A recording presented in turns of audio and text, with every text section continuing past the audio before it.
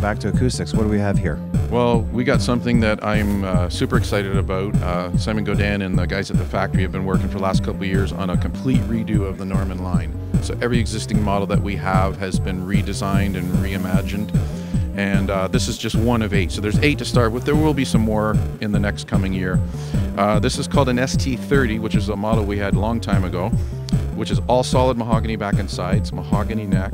It's a mini jumbo shape with a cedar top, LR Baggs element pickup. Comes with a gig bag.